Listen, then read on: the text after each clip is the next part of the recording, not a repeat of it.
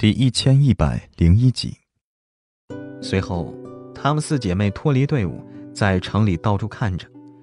对于她们这种冒险团来说，最喜欢的就是到冒险团酒馆里看看情况。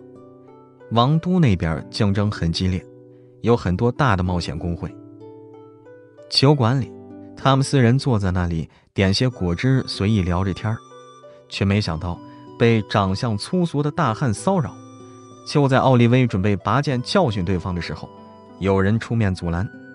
来的同样是一位精灵族妹子。希尔夫看到同族很开心，但他从对方身上感受不到精灵族特有的气味，反而夹杂着人类的味道。应该是精灵跟人类结合，然后在人类城市中长大，并不全部属于精灵族。那些长相粗俗的大汉看到对方，早就吓得跑没了影儿。那是格莱冒险公会会长夫人，就他们这些小冒险团成员，谁敢招惹呀？只能灰溜溜的跑了。这里很安全，刚才只是情况特殊。几位妹妹，需不需要加入我们格莱冒险公会呢？他们四人对视着。不好意思啊，我们已经组建了冒险团，而且还在学院学习。多谢你的好意。好吧，真是可惜了。随后，礼貌的微笑点头。朝着里面走去，四位少女叽叽喳喳的交流着：“是不是我们很厉害就被对方看中了呢？人家可是工会啊，那是比冒险团要更加强大的工会。类似这种工会，接取的都是比较有难度的任务，跟他们这种小打小闹有着天差地别。如果格莱知道卖给他神器之人的女儿在这里，绝对会惊呼着：‘我坑了你父亲啊！’”这哪是两百多斤能够买来的，简直就是无价之宝啊！夜晚，宴会，原本戴夫才是今晚的主角，但现实跟他想的不一样啊。如今的他老老实实的跟同学们坐在一起，而他父亲才像是过生日的人，迎接着各位大人物到来。按理说，身为你的儿子，就算得不到重点照顾，至少让我陪伴你身边，跟你一起迎接贵客吧。看着人家送的礼物都被他的父亲让奴仆收走了，他的心在滴血呀。是我过生日，应该都是我的，怎么可以这样啊？真的好过分！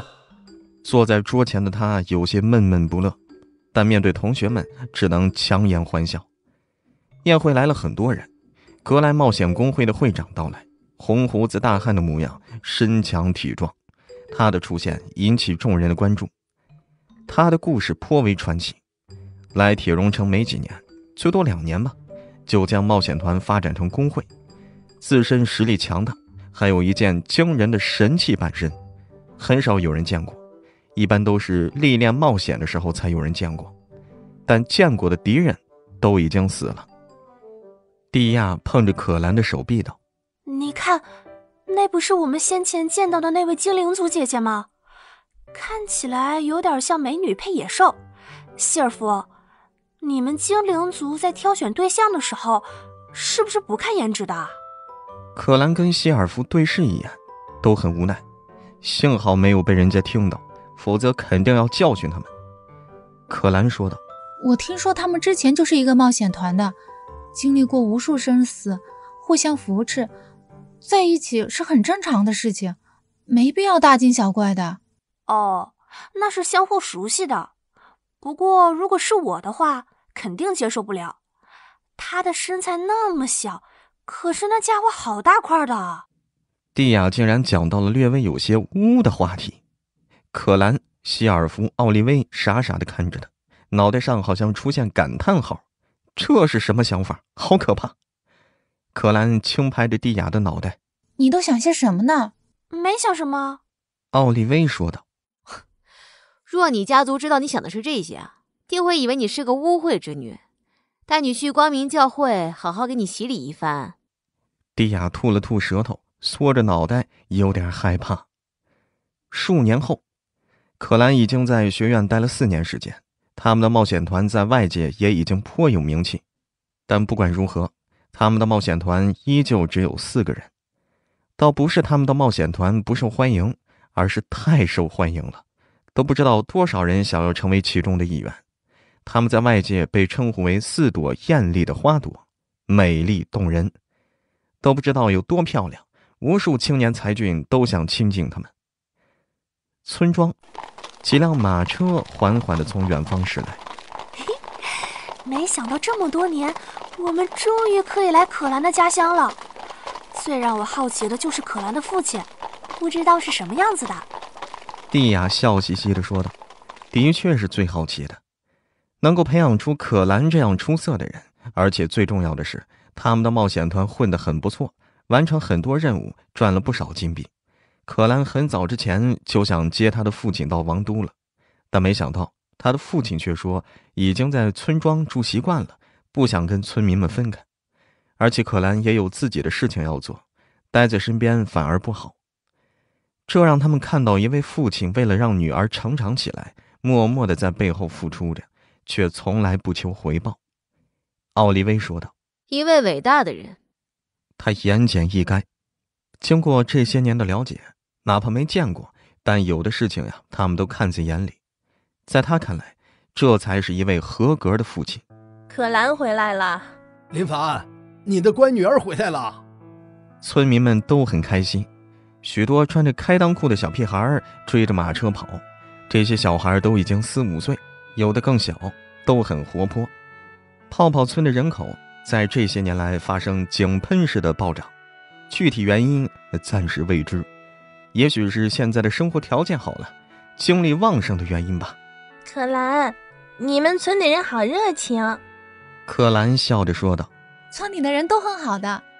铁匠铺，林凡放下手里的事情，看着回来的几辆马车，脸上露出灿烂的笑容。时间过得很快，女儿的确成长起来了，他是欣慰的。虽说可兰一直想他搬到城里，但在这里生活习惯的他不想离开，而且最重要的是，他在等待黑暗之神的出现。这家伙真的好能躲呀，躲到现在都没有出现。不过这样也好，在对方没有出现的情况下，他能有更多的时间照顾女儿，看着女儿逐渐成长。第一千一百零二集，爸爸，可兰从马车上下来，扑到林凡的怀里。甭管在外面经历多少，又成为多少人心里的大人物，但在父亲面前，他永远都是孩子。奥利威等人下车，看着眼前一幕。都露出笑容，温馨的一幕是有很强的感染力的。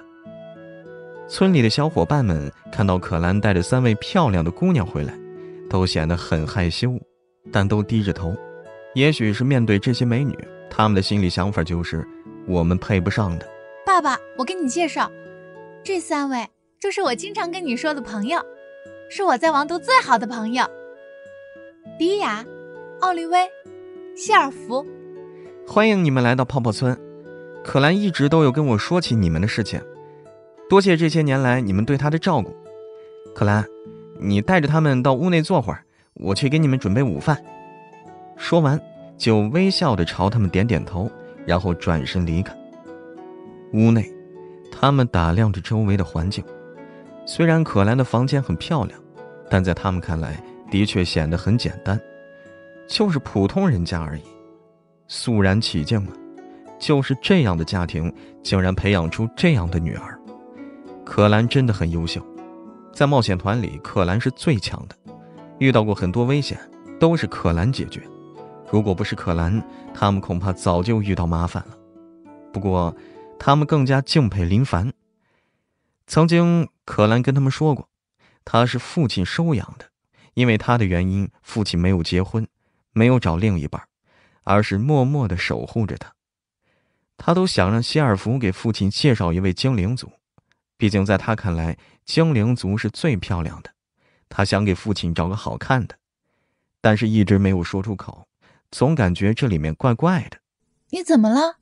可兰见希尔弗一直发着呆，好奇的问道。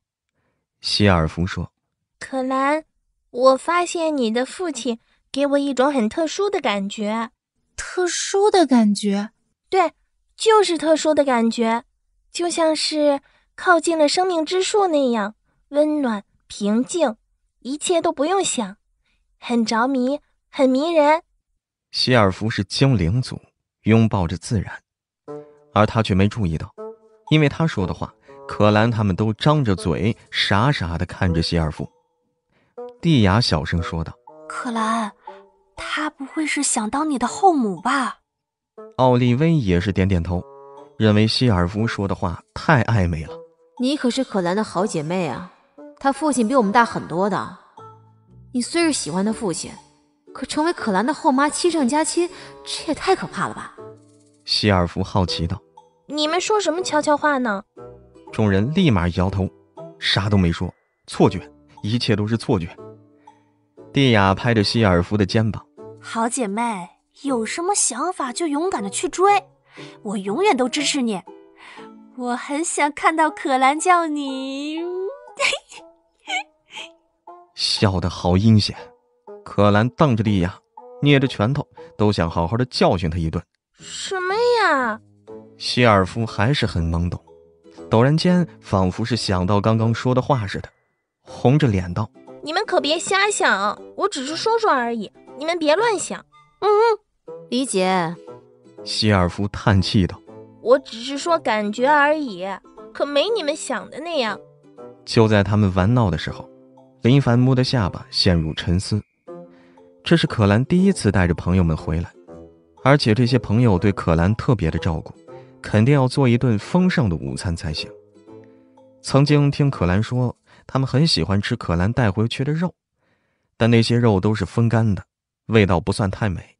如果是现做的话，那味道才是真正的美味。想到这里啊，他嘴角露出笑容。火锅涮肉。他们一定会很喜欢的。询问意志，哪里有那种美味的肉？自己寻找的话，都不知道去哪儿找。只是不知道为什么，以前只要跑远点就能遇到，现在都很难找到了，都不知道跑哪儿去了。真的是一件很烦恼的事儿啊！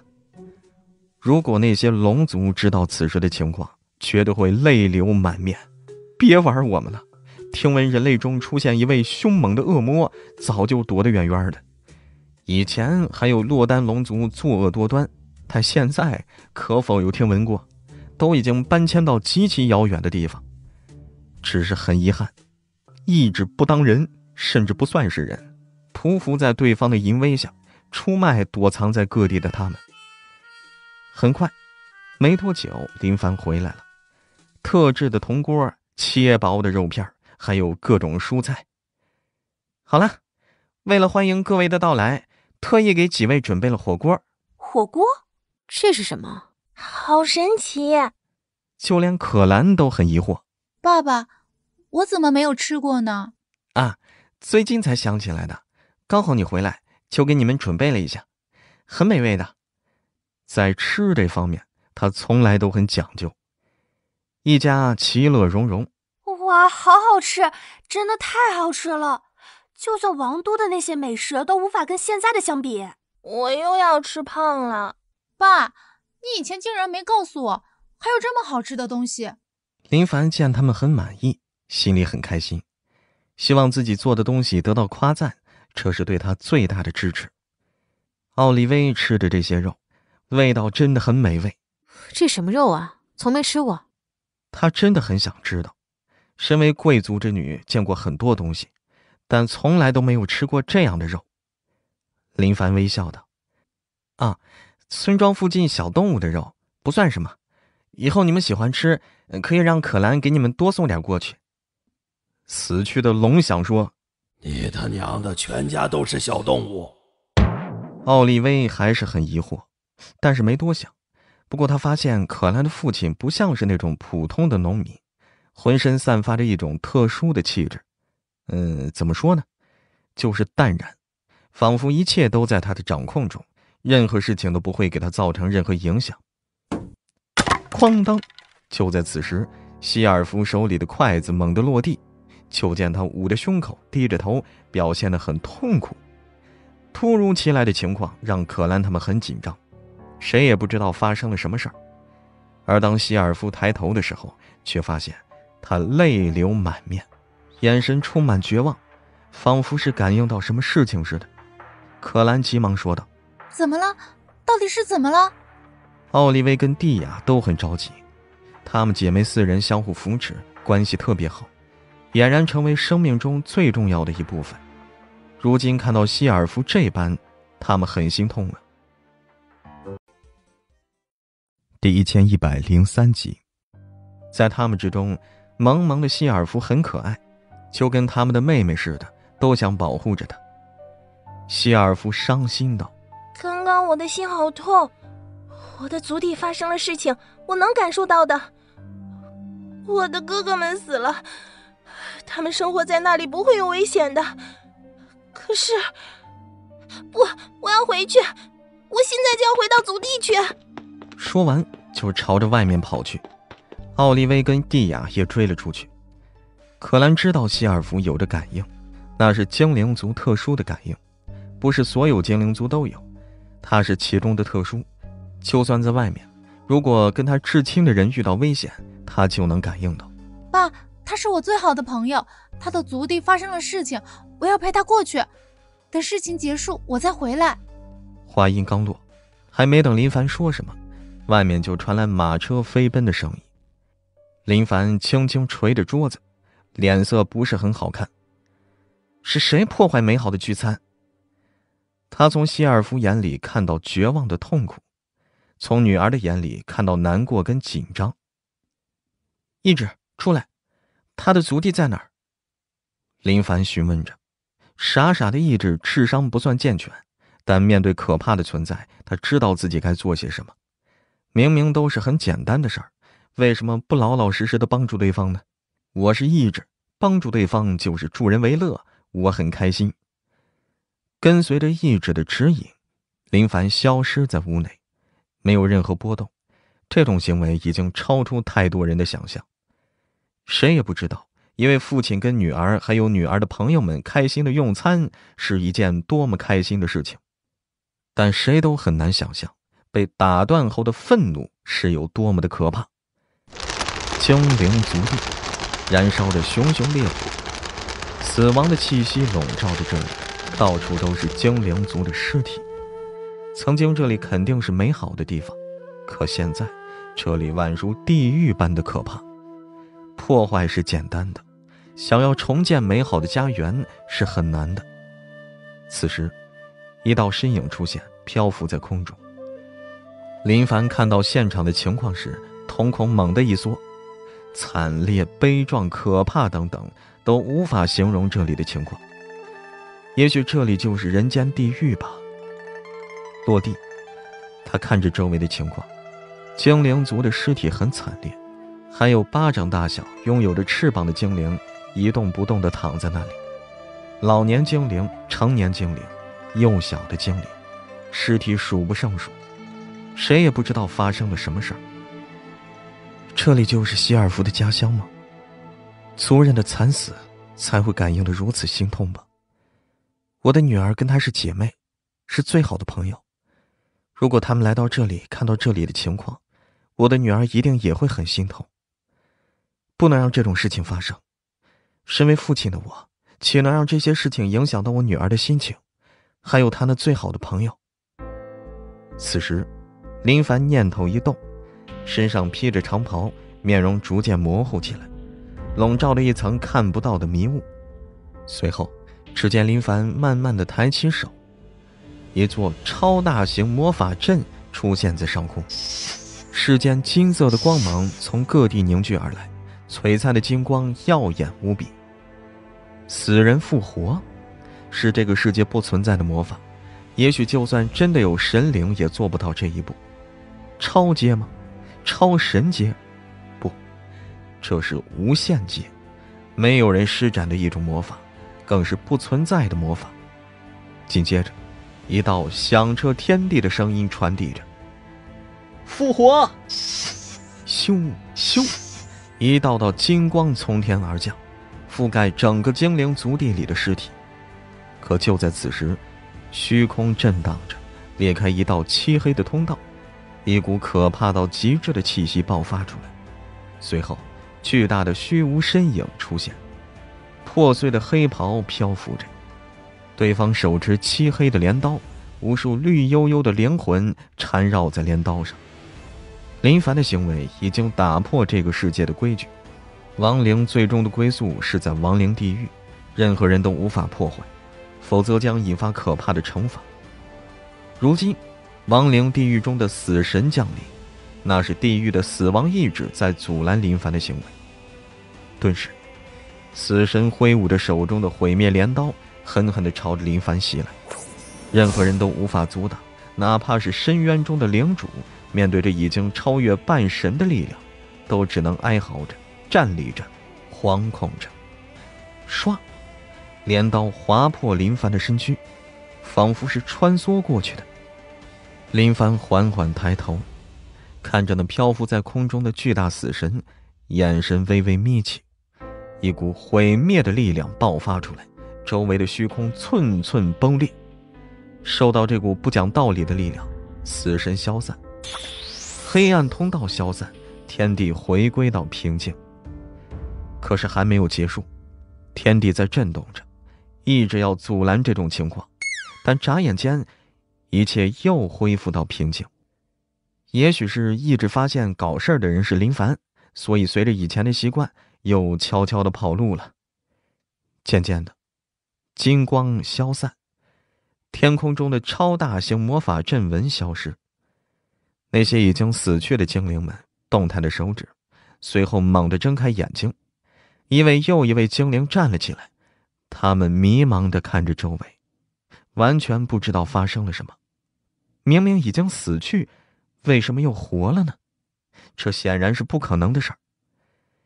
精灵女王醒来，她是精灵中最美的存在，高贵圣洁。代表了世间最纯洁之物，这是怎么了？精灵女王看着双手，随后看着周围的情况，发现原本已经死去的精灵子民们都站了起来。这到底是怎么回事？发生了什么？脑海里有很多疑惑，甚至都感觉这像是幻觉呀，那么的不真实。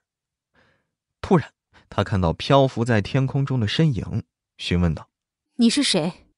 林凡说道：“你们已经死了，而我复活了你们。复活，多么可怕而又不敢想象的事情！但他知道这一切都是真的，对方没有欺骗他。精灵族遭遇魔族的入侵，魔族在掠夺精灵族的生命果实，不惜发动一场让精灵族都无法抵挡的战争。此时，精灵女王真诚感谢道。”多谢您的慈悲，拯救了我们精灵族啊！作为精灵女王，我代表精灵族感谢您的恩情，我们将永记于心。随着精灵女王弯身的时候，那深不见底的鸿沟落在林凡眼里，汹涌、白净、嫩滑，不愧是精灵女王啊，拥有着别的精灵无法想象的资本。林凡说道：“不用谢。”只是不希望他为此难过伤心。多好的父亲啊！就因为不想女儿为此难过，而来到这里将这些精灵族复活。如果可兰知道，绝对会痛哭流涕。我的父亲竟然……呃，怕是已经无法用语言来形容了。第一千一百零四集，他，精灵女王听不懂对方说的到底是什么意思，迷茫的很。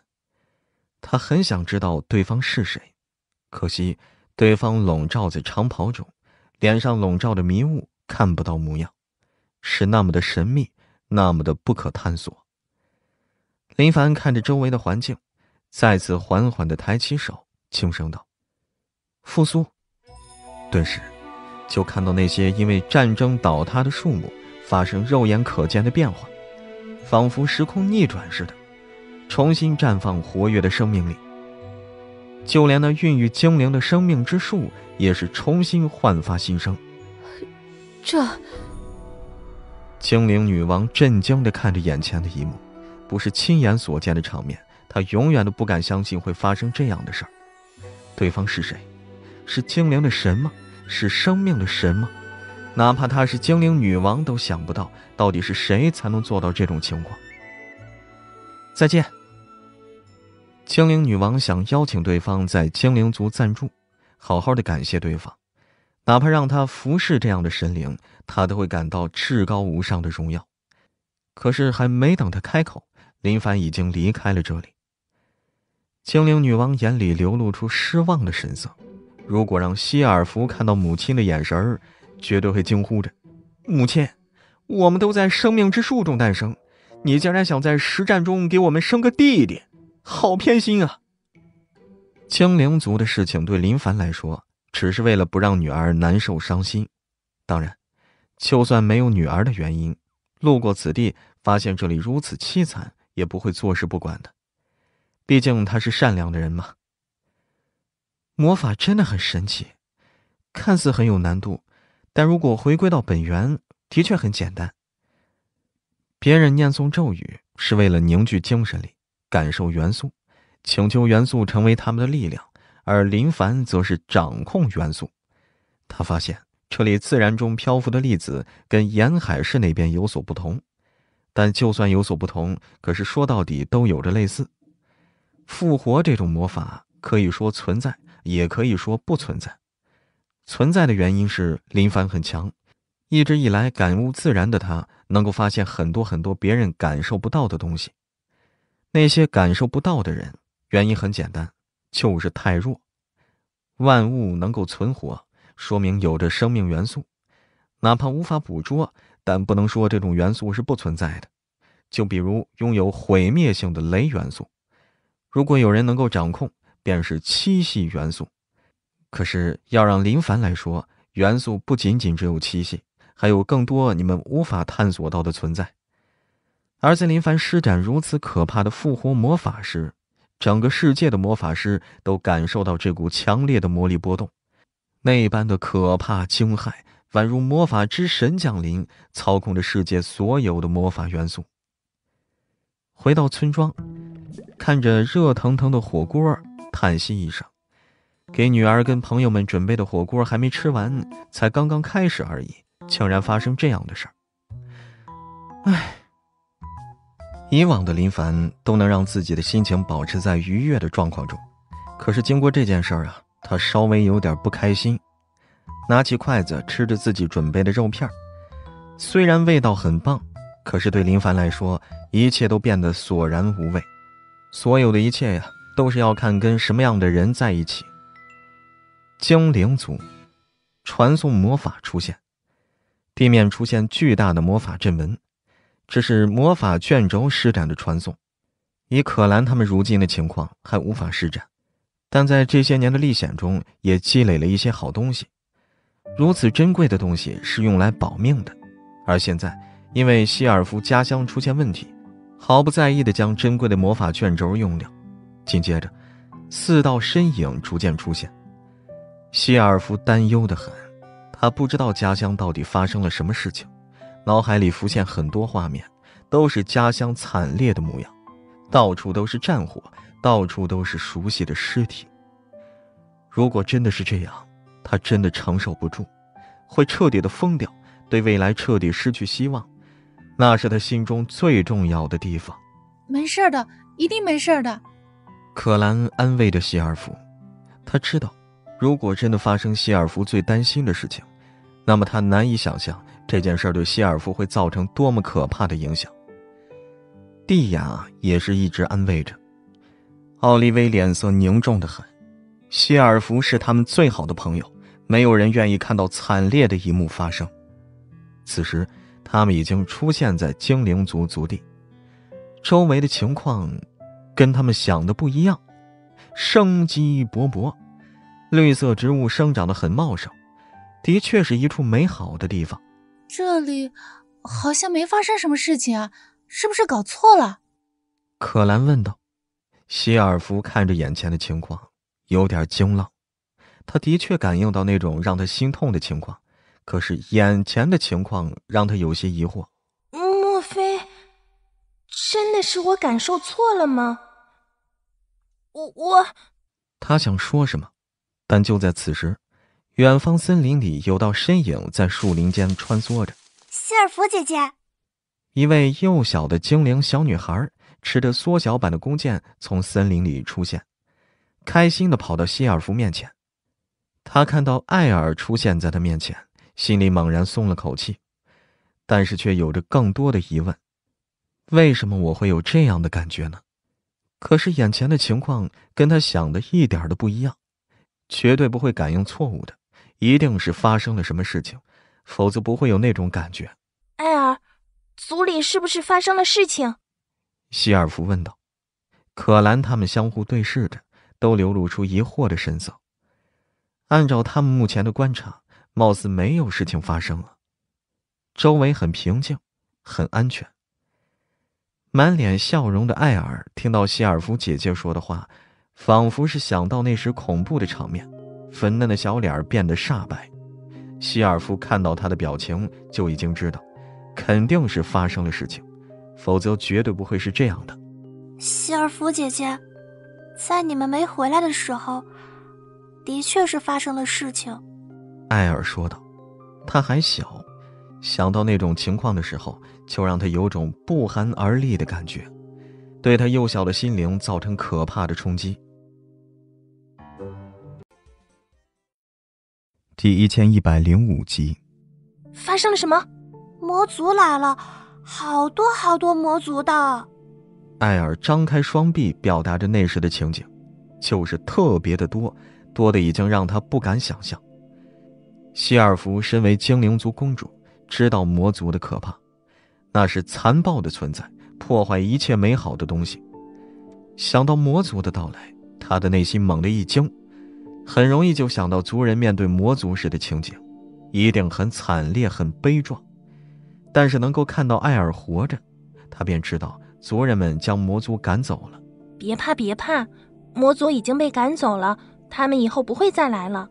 希尔安慰着，他知道，那一幕对艾尔来说肯定是可怕的。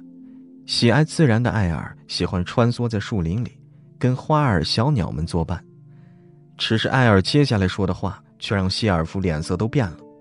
不仅仅是他脸色变了，就连可兰他们都是如此。希尔夫姐姐。其实我先前就已经死了，别胡说，我才没有胡说呢。大家都已经死了，就是后来我也没有明白为什么又活了过来，真的好奇怪。艾尔说的都是实话，他只记得自己被魔族的人给杀害了，然后醒来的时候发现大家都活着，他真的是很开心，只是不知道是怎么回事。希尔夫瞳孔缩放。对艾尔说的话，真的有些不敢相信。他现在知道，想要明白到底是怎么回事，只有去询问母亲。随后，轻轻拍着艾尔脑袋，让他去玩耍。有的事情啊，孩子是不知道的。艾尔欢快的离开了。他现在要去采集蜂蜜，甜甜的，特别好吃。可兰说道：“刚刚那孩子还小，可能不知道发生了什么事情。”嗯。希尔夫点着头，只是他知道艾尔不会说谎。可惜他被艾尔说的脑袋很混乱，都不知道他说的是什么意思。想要知道真相，只有询问母亲。奥利威琢磨着艾尔说的情况：魔族很可怕，在大陆中是人人害怕的种族，魔族都很强，很少有种族能够跟魔族相抗衡。当然，龙族除外。说实话，如果艾尔说的都是真的，魔族对精灵族发动战争，以精灵族的情况，恐怕很难抵挡。可是，看看现场的环境，哪里像是发生过战争？一切都是那么的美好。很快，眼前的情景再次让他们有些迷惑。大量的精灵族在搭建着屋子，很惊奇，房屋都受到破坏。可是周围的环境完好如初，完全看不出有任何毁灭的迹象。精灵女王住所，母亲，我回来了。希尔夫匆匆进来，看到母亲的身影，他缓缓松了口气，确定没事儿才能放心。精灵女王对女儿回来并没有任何惊讶，她知道女儿能够感应到精灵族这里发生的事儿。可兰他们都是第一次见到精灵女王。哇好漂亮！可兰看着精灵女王，心里惊叹着：眼前的精灵女王庄严、成熟、圣洁，任何人都不能无视精灵女王的容貌。蒂亚跟奥利威点着头，很赞同可兰的评价，的确很漂亮。精灵女王微笑着，知道这三位是女儿的朋友，热情招待着。母亲，族里发生了什么事情？埃尔说魔族发动了战争，他说大家都死了，可是我看大家都在啊。希尔夫询问着，精灵女王缓缓道：“没错，魔族发动战争。”精灵族地被毁灭了，族人全都死了，就连我，也已经死在魔族手中。可是，希尔夫张着嘴，脑袋一片混乱，已经搞不懂这到底是什么情况了。你听我说，魔族毁掉精灵族地，杀光了所有精灵，可有一位神秘人出现了，他将精灵族人全部复活，还复苏了被毁坏的环境跟生命之树。希尔夫震惊，复活？别说希尔夫已经傻眼，就算可兰他们都有些发懵。这种事情离他们有些远啊。蒂亚好奇道：“这世界上有复活的魔法吗？”奥利威摇头道：“这个没听说过，更加没见过呀。复活魔法应该是不存在的吧？”精灵女王说道：“你们说的很对，复活魔法的确不存在。”以前我也认为，在这个世界上不会有如此可怕的魔法存在的。直到事情发生在我们身上的时候，我才明白，那是真实存在的。也许你可能不信，但它确实存在。那他是谁？希尔夫问道。精灵女王回忆道：“他很神秘，我看不清对方的脸，也不知他是谁。但是离开的时候，我询问过他，他只说了一句话。”不想让他难过。我想了很久，整个精灵族中会有谁跟这样的强者相识呢？后来我翻阅古籍，曾经精灵族第八任精灵女王跟人类相识相恋，可那个时候人类肆意捕捉精灵族贩卖，早已经结下怨恨了，所以他们的感情曾遭遇到精灵族所有精灵的反对，到最后离开。我想那位神秘强者。应该就是他吧。听闻母亲说的这些，希尔夫显得很震惊。第八任，可现在都已经是二十几任了，过去了好几千年了，怎么可能还活着呢？不得不说呀，精灵女王的思想是活跃的，能够想到别人都不敢想的事情。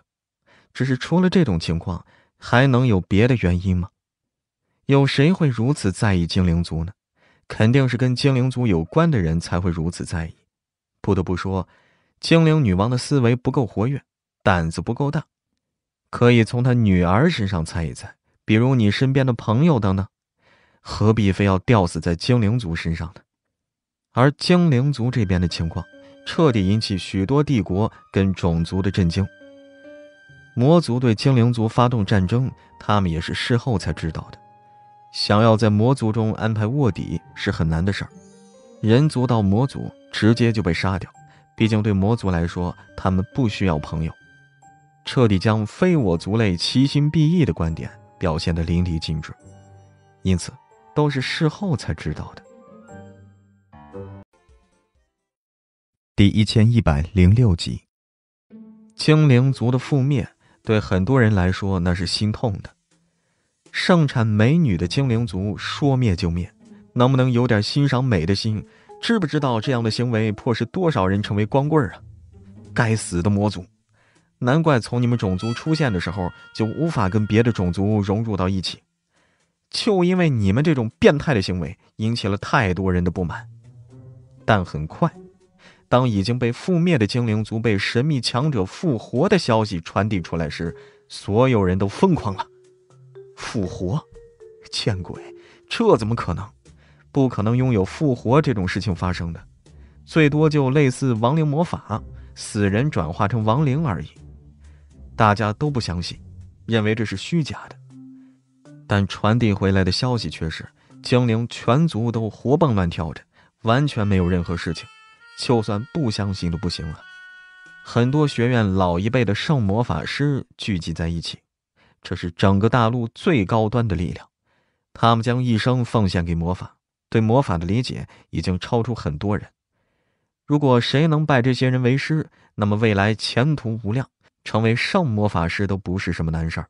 精灵族那边的事情是真的，复活魔法出现，我们研究一辈子魔法都没有碰触到这种领域，甚至别说是触碰，就连一点蛛丝马迹都没有寻找到啊！一位白胡子老者感叹道：“魔法神秘，全能。如今的常识是六系魔法，但具有毁灭天地威力的雷元素是存在的，应该是七系魔法。可现在复活的魔法出现，说明我们对魔法的理解还停留在初期。亡灵魔法能够将死去的人转化成亡灵。”没有温度，没有心跳，那不算复活。只是能做到类似复活魔法的，只有亡灵魔法。这其中到底有什么关联？是光系魔法吗？不可能。如果是光系魔法，教皇应该能够做到。可是他做不到。莫非是组合魔法？水系充满活力。光系充满希望，这两种元素融合起来，是否能够形成类似复活魔法？就因为这种情况，直接让一群老魔法师彻底崩溃，甚至已经沉迷在这种问题里，都想弄明白复活魔法的关键点。可是他们真的想不明白，这到底是怎么回事啊？如果林凡知道有群人想的焦头烂额，肯定会微笑的告诉他们：“很简单，自然中漂浮的魔法元素有很多，只要能够掌控它们，任何魔法都能施展出来。”时间过得很快，因为精灵族没有发生什么事儿，可兰便带着朋友回来了，这让林凡脸上重新绽放笑容。说到精灵族的事情，希尔弗到现在都还有些懵，有些想不明白。只是这些都已经不重要。族人没事就好，因为他们的回归，又有一头可怜的小动物惨死在林凡手里。对龙族来说，他们有些无法忍受这样的事儿，继续这样下去，真的要完蛋了。好在可兰他们回来的次数不多，如果次数多的话，怕是真的要崩溃。林凡看着可兰逐渐成长，欣慰的很。他只是想在黑暗之神出来之前。将可兰培养成一位能够独立的强者。从现在这种情况来看，一切都按照他的想法发展着。在村庄待了一段时间后，可兰继续跟她的三位好姐妹们出去冒险。数月后，一群盗匪很是不爽，他们发展的很好，可是没想到竟然被一个冒险团盯上。起初得知是四位美女组建的冒险团时，都笑得很开心，仿佛是想到将四位美丽的冒险团美女抓住后，能够发生一些他们喜欢的事情。可随后他们就发现，这些家伙很可怕，完全看不出像是美女能够做出的事儿。走，快走！这些臭娘们下手太狠，等我翻过身，非得狠狠地折磨死他们！领头的盗匪凶神恶煞，愤怒地咆哮着。他们做了很多坏事，自然是被人通缉。也有冒险团来找他们麻烦，但有的冒险团不自量力，直接被他们团灭了。这位盗匪首领实力很强，团队里还有厉害的魔法师，属于实力强悍的盗匪，可不是别的盗匪所能相比的。咻咻咻！突然间有破空声传来，当众人反应过来的时候，三只飞来的剑齿直接击穿盗匪小喽啰的脑袋。完全就是一剑一个小朋友，根本不给对方任何反应的机会啊！盗匪首领脸色阴沉的很，臭娘们下手真狠。啊希尔弗身为精灵族，热爱生命，心地善良，哪怕面对敌人都不想下狠手。但是经过奥利威的调教，知道对敌人的仁慈就是对自己人的残忍。我们是团队，我们的性命是相通的。若是不想朋友们为此丢了性命，就不要留手。因此，谢尔夫对敌人的手段越来越狠，能够做到一击毙命，绝对不会留对方小命的。此时，盗匪那边的魔法师发现远程弓箭手不好对付，直接释放土墙，盗匪们都躲在土墙后面。可兰跟奥利威对视一眼，默契的点点头，随后朝着盗匪那边冲去。他们都是近战，冲到土墙前，可兰举起手中的大剑，猛烈的挥舞着，狠狠的砸下。远方的蒂亚惊呼着：“哇，怪力少女出现了！”这是学院里的人对可兰的称呼，天生神力，但大家更喜欢称呼她为怪力少女。力气是真的很可怕呀，好多男战士看到可兰都有些抬不起头来，直呼变态。这力气真的很可怕。第一千一百零七集，轰隆，土墙崩裂，盗匪们眼珠子暴突，仿佛见鬼似的。这都是些什么怪物呀？可兰念诵着咒语，就见脚下出现冰霜阵纹，这是魔法增幅，水系魔法分支冰系的冰冻效果。数米内的敌人都会受到冰霜光环的影响，动作迟缓。远方的蒂亚施展魔法，数个火球出现在面前，随后挥舞着魔杖，火球咻的一声将那些小喽啰护着。希尔弗拉开弓箭。风在流动，加持在箭矢上。松手，咻！加持的箭矢速度更快，盗匪根本难以抵挡。配合默契的四人小队，将穷凶极恶的盗匪杀得人仰马翻。手段看起来根本不像是女孩子该有的手段，完全就是不留余地呀！出招就是毙命。不知何时，正在施展魔法的蒂雅身后。有一个小喽啰出现，哼，可恶的臭娘们儿！小喽啰狰狞的很，随后朝着蒂雅扑来。如果是刚入学的时候，蒂亚肯定会失声尖叫，手足无措，吓得扔掉手里的魔杖。但现在，蒂亚面色不惧的转身，对着小喽啰的裤裆就是猛烈的一脚，断子绝孙，然后挥舞着魔杖，狠狠的砸在对方脑袋上。砸的小喽啰脑袋鲜血溅射。哼，偷袭我，我蒂亚才不怕你呢！哼！盗匪首领看到此时的情况，已经暴怒，抡起狼牙棒朝着可兰狂奔而去。可兰眼神凌厉，巨大的大剑在他手里没有任何影响，反而无形间有种非凡的霸道之感。斗气覆盖大剑，施展剑技，一剑挥向了盗匪首领。碰撞声传递着，轰隆！好可怕的力量！盗匪首领不敢置信，手臂颤抖着，酸痛感席卷着身体，有些支撑不住，而且身体有些迟缓。魔剑士！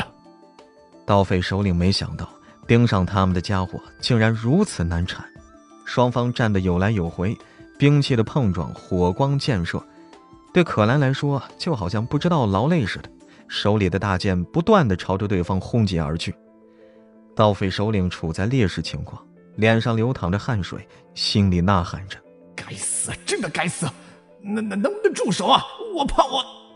可兰一剑轰飞对方手里的狼牙棒，就在盗匪首领准备束手就擒求饶的时候，可兰一剑落下，直接将盗匪首领的脑袋砍飞了，手段凌厉，霸道的很。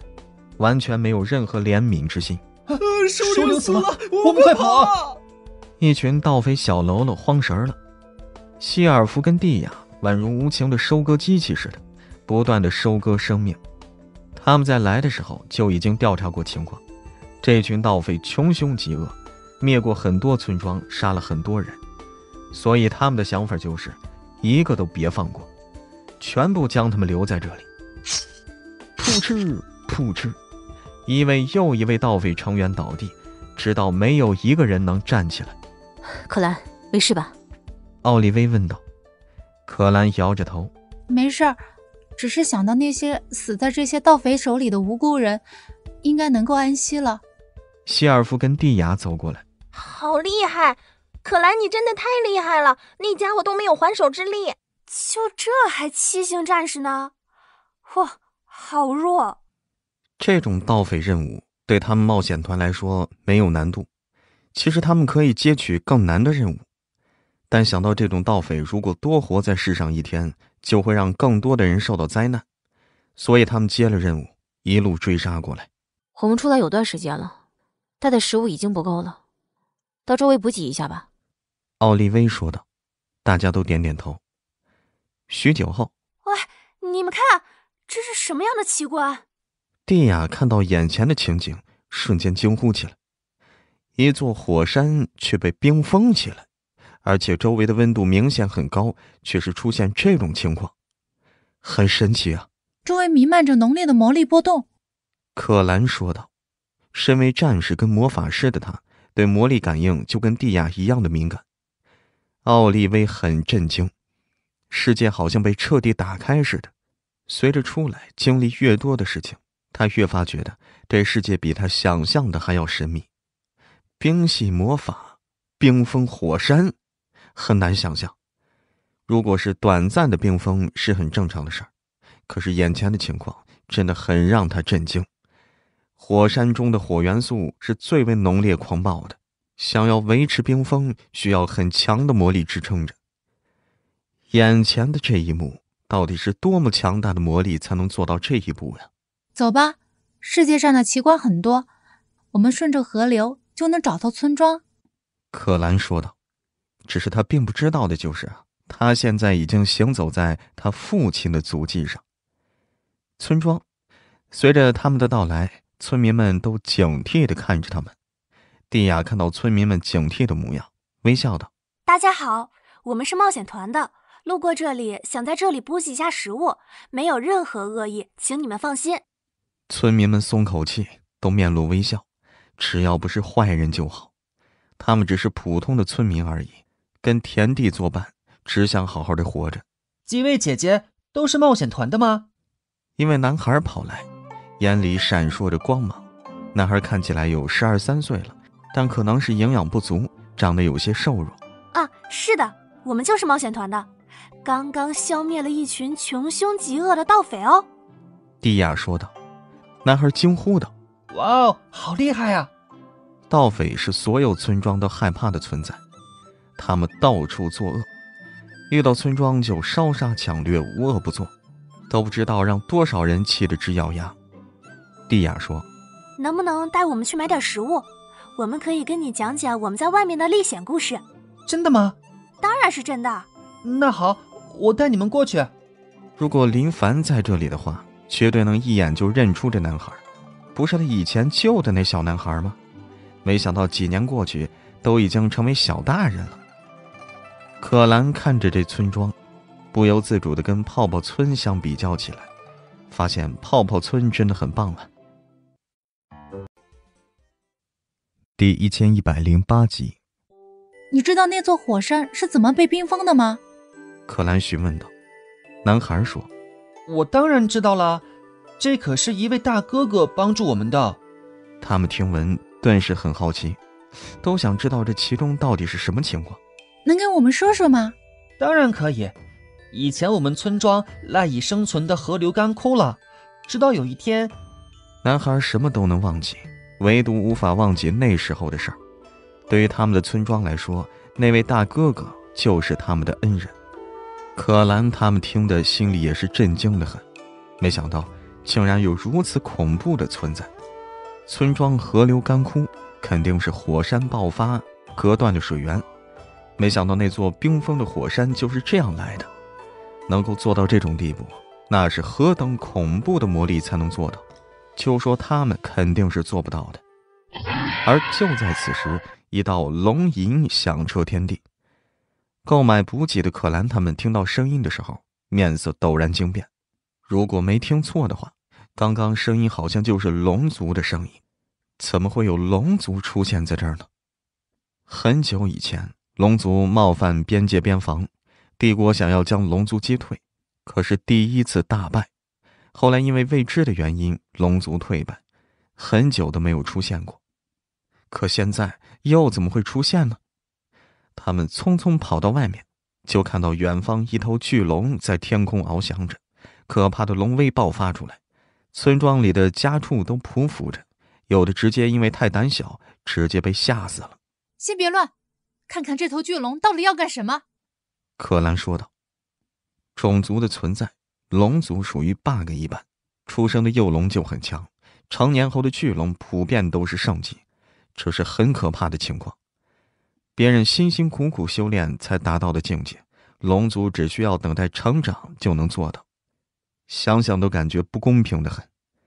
可要是有人知道龙族一直以来就被人当做饭桌上的美味，也绝对会说公平。”实在是公平的很，没想到龙族竟然也被人当成小动物来食用，就算达到上级又能如何呢？还不是那般的悲剧吗？奥利威等人都很紧张，村民们何时看到过这样的生物啊？全部都被吓得脸色惨白，就怕被龙给吃掉。害怕什么就来什么，巨龙的目标明显就是村庄。他们朝这个方向来的。奥利威轻声道。蒂亚双手紧握着魔杖，神色很紧张，有点害怕。面对别的，他都不会畏惧，可是眼前的情况真的有吓到他。可兰皱着眉头，沉声道：“我去引开他，你们带着村民先躲起来。”奥利威说道：“可兰，别冲动，那是巨龙，我们对付不了。我知道，但我的父亲跟我说，遇到任何困难都要勇敢的面对，帮助弱小是一件值得开心的事情。”放心，我身上还有传送魔法卷轴，只要将巨龙引开，等你们安排好村民，我就会撤退。可兰说着，就在他们想要跟可兰说些什么的时候，可兰直接朝着村外跑去。你们快带着村民躲起来！天空中，巨龙翱翔着，硕大的龙眼注视着下方的情况。真是不错的好地方，竟然不让我出来玩耍，还说有可怕的人类喜欢吃它们，哼，都是骗人的。伟大高傲的龙族，谁敢吃啊？莫比是龙族龙皇之子，拥有着龙族最神秘的血脉，继承了龙皇的龙羽魔法，是能够幻化成人形，这是普通的龙族做不到的。顿时，莫比感受到皮肤好像被什么东西给轰击了似的，低头一看，发现一位渺小的人类竟然施展冰系魔法，化作冰剑朝着他刺来。他露出不屑的笑容，哼，卑微愚蠢的人类，不知道我莫比也是可以魔法免疫的吗？这可是只有最为高贵的龙族才能拥有的，就陪你玩玩好了。莫比转变方向，朝着可兰这边飞来，巨大的身躯笼罩着地面，一口龙息喷吐出来，落在地面，发生剧烈的爆炸，冲击波扩散着。可兰感受到这股冲击力。脸色很严肃，他不能跟巨龙硬碰硬，双方的实力有差距。哼，跑得真利索。莫比一点都不着急，慢慢的陪对方玩一玩。他到现在都没搞懂，这渺小的人类怎么会有勇气来攻击自己？莫非真的认为我很好欺负吗？切，真是让人特别不爽的行为啊！可兰见巨龙没有疯狂攻击，心里猛地松了口气。虽然他知道巨龙是在戏耍着他，但这样能够拖延时间，能让奥利威他们带着村民们躲起来。时间一分一秒的过去，莫比显得有些无聊，不想继续玩闹下去。可兰感觉差不多了，取出传送魔法卷轴，默念咒语，顿时，魔法阵纹出现在脚下，只有这样才能在巨龙手里逃脱。可就在此时。惊人的一幕发生了，就见天空的巨龙念诵着他听不懂的咒语，好像是不属于魔法范围内似的。禁魔领域，龙与魔法中的领域，在这范围内将不存在魔法元素，就算是魔法卷轴都无法施展。可兰发现脚下的阵纹消失不见，他知道大事不妙。墨笔飞过可兰的头顶，龙尾狠狠地扫来。强劲的力量席卷而来，吹得可兰长发飘荡，那股力量就跟风刃似的，拍打着脸。他挥着大剑朝着巨龙尾巴劈来，轰隆！巨大的轰鸣声传递而来，可兰无法阻拦这种力量，直接倒飞出去，落在远方，彻底的晕死过去。而对莫比来说，这渺小的人类好强的力量啊！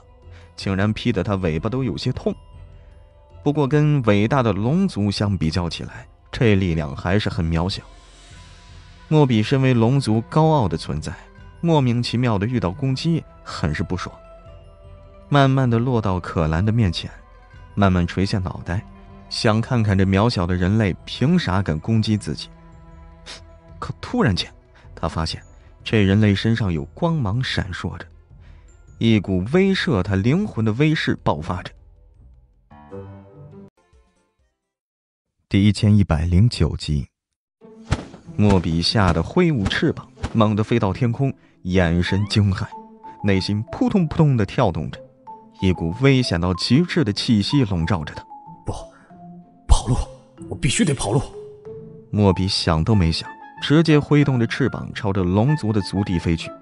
不知为何，他想到龙族那些家伙跟他说的事儿：人类里有喜欢吃龙的可怕恶魔。刚刚这人类明明很弱。可是那散发出来的威势绝对没有错，如果继续待着，我绝对会死的。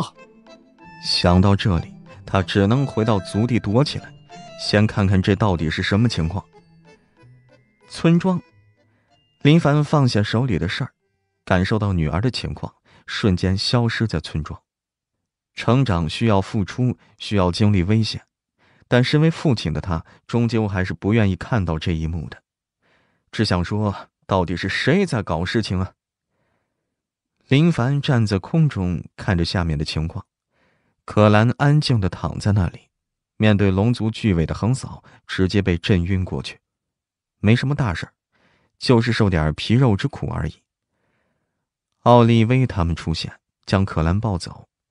身为队友，他们看到可兰不顾自身的危险，帮助他们引开巨龙，这将是他们难以忘记的事情。一辈子都要铭记在心里，哪怕今后为此付出性命，也是值得。友情的极致，也许就是如此。义志，请出来。”林凡轻声说道。遇到不知道的事情，找意志是最为明智的选择。这方世界的意志懵懵懂懂的，好像没有完全彻底的苏醒，属于智商半残的存在。只是一直以来都没有人能够接触到他。你好，能将这里刚刚的事情复原给我看吗？林凡友好的询问着，态度跟上次相比较起来，那是友好的很。意志有点惊讶，或者说不太习惯这种友好的方式，毕竟以往这家伙都是用命令的口吻。面对如此可怕的家伙，身为意志的他秉承着天地正能量。乐于助人不是很正常的行为吗？好的，都是小事。意志传音到林凡的脑海里。很快，林凡面前出现画面，意志回放着刚刚发生的事情。巨龙翱翔在天空，可兰为了保护队友跟村民，主动引开巨龙。真是勇敢，感到自豪。林凡对女儿的行为感到自豪，保护朋友跟弱小者。就跟他一样，从来都不会欺负弱者。直到画面结束，他的嘴角都带着笑容。就在他为此感到自豪的时候，看似很傻的意志主动跟林凡说起了一件事儿：“能跟你说件事情吗？”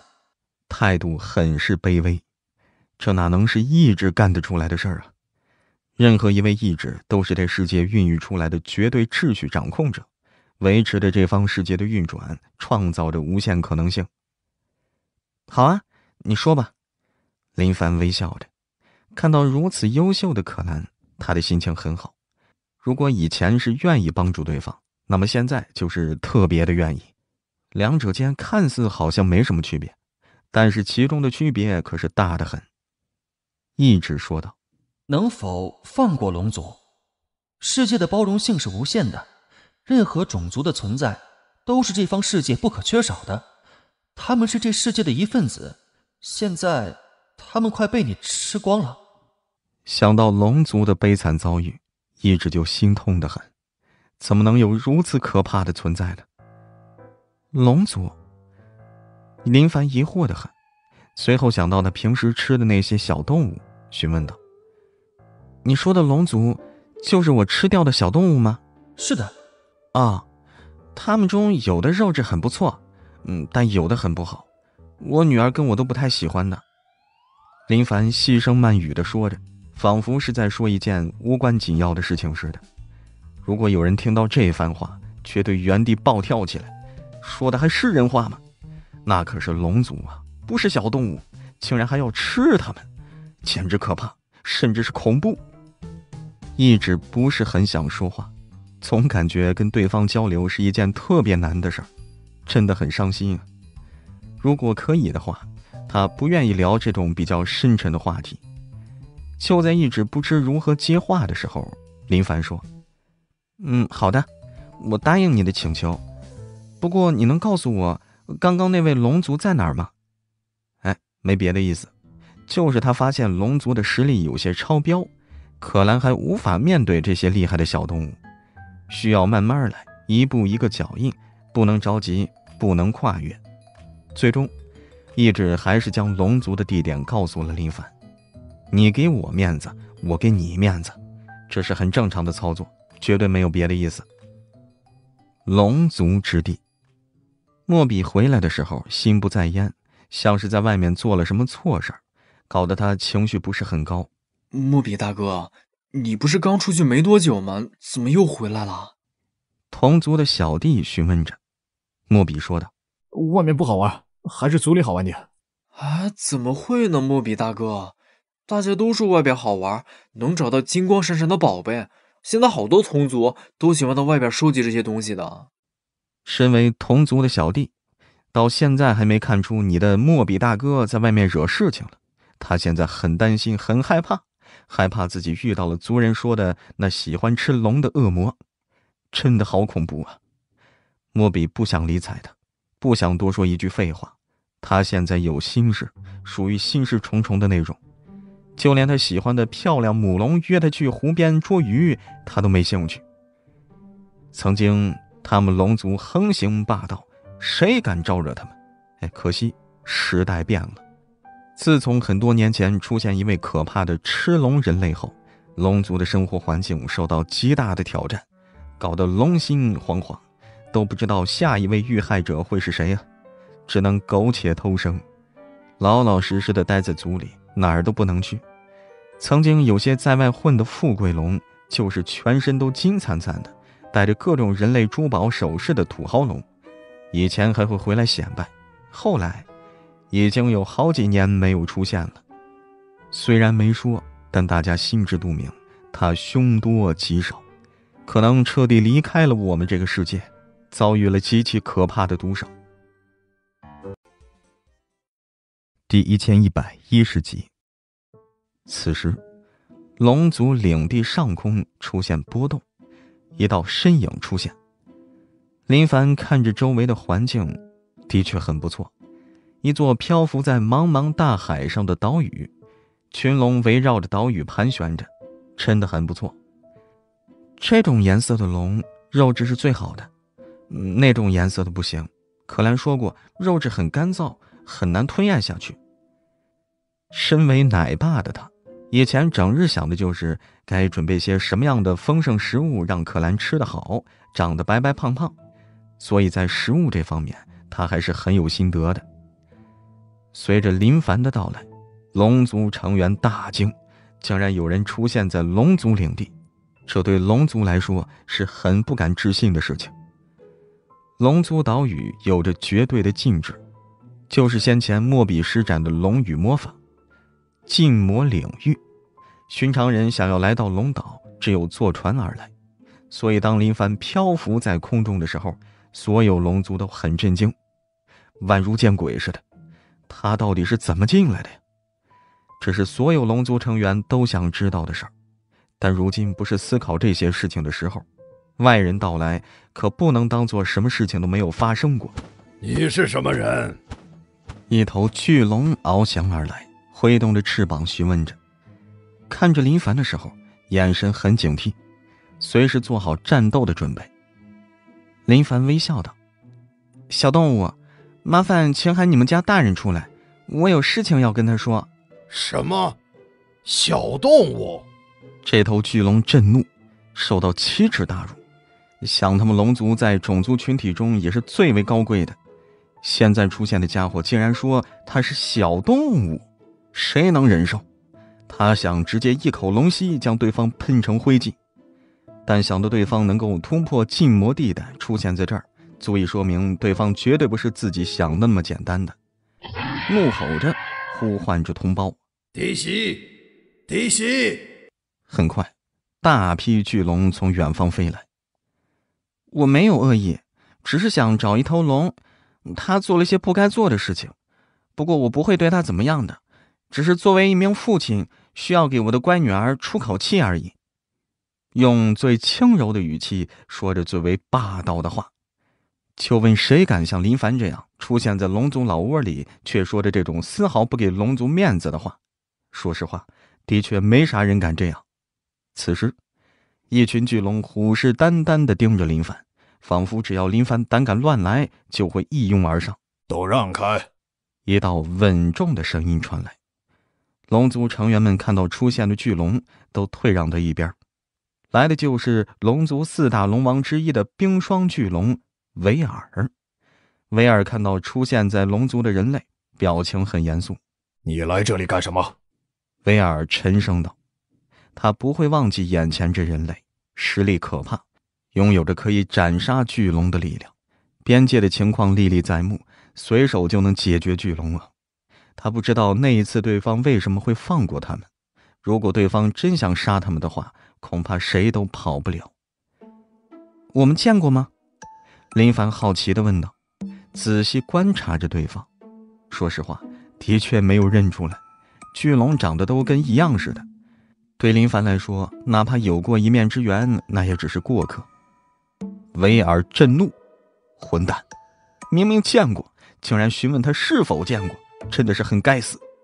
不管怎么说，他威尔也是龙族四大龙王之一，地位崇高。除了龙皇之外，就他在龙族的地位最高。现在眼前这可恶的人类如此不给面子，已经彻底将他给激怒了。只是这怒火只能自己埋藏在心里。他不是眼前这人类的对手啊！”何必自讨苦吃呢？林凡见对方没说话，微笑道：“哦，我想起来了，原来是你啊！好久不见。”呃，真的好假呀，这种演技真的有些浮夸。”维尔说道：“你来龙族之地，到底想干什么？”他到现在还不知道，眼前这位就是喜欢吃龙族肉的人类恶魔。我来找一头龙。谁？维尔警惕的很，对方莫名其妙的出现在这儿，绝对没啥好事。嗯，不知道。你连是谁都不知道，就来这里？还是说你真以为龙族好欺负，任由你胡来？身处在家乡，说话的底气都充足很多，哪里像以前只有害怕呢？没有这种意思。而且我也不喜欢欺负人，以前喜欢吃你们的肉是我的原因，但后来一直拜托我，让我不要吃你们，我答应了他，以后我不会捉你们了。林凡感觉眼前这位巨龙对自己好像有点误会，如果非要形容的话，就是他还不了解我的为人。只是他没想到，听到这番话的龙族仿佛彻底傻眼似的啊！他他他就是喜欢吃龙肉的人类恶魔！不，我我不想被吃掉！救命啊！救命啊！人类恶魔杀到咱们老巢了，他要将我们龙族吃光！大家快跑啊！很遗憾，一头胆小的龙好像得了失心疯，变得疯疯癫癫，失去了曾经高贵的模样。要是被人看到，肯定会被称呼为疯龙。威尔被吓得脸色苍白。身为龙族四大龙王之一的他，从来都不畏惧任何对手。可是眼前这人类，让他感受到无尽的恐怖。那种恐怖来自心灵深处。不断消失的巨龙就是你吃的？嗯，是我做的。我发现你们的味道很不错，嗯，但有的味道不是太美好，很苦涩干燥，不太喜欢。维尔气得浑身颤抖，多么想跟对方拼命。只是脑海里有一道声音一直提醒着他：别冲动，淡定低调。如果你冲动的话，你会很凄惨的。有话好好说啊，千万别动手动脚，这种行为是很不友好的。他看着龙族成员，很多没有经历过社会毒打的巨龙已经胆怯了，从他们的眼神里就已经看出来，那是被人类恶魔给吓怕了。